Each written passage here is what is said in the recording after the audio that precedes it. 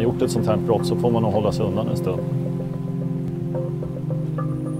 Det här sätter sig ju i alla små skavanker och överallt så det är väldigt, väldigt svårt att bli av med.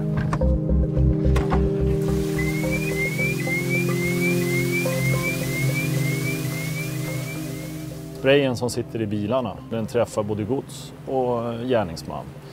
Och det som hamnar på gärningsmannen sitter ju kvar.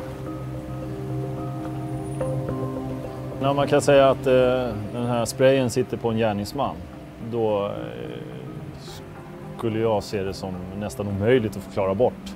Då har man ju varit på den platsen vid det tillfället när eh, sprayen sprutas ut.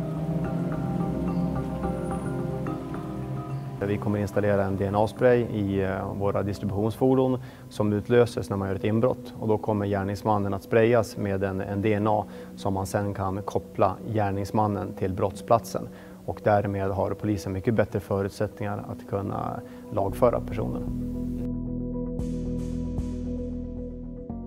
Vid ett överfall av en postbil till exempel så försöker vi få en position där gärningsmannen har varit och därifrån söker vi spår.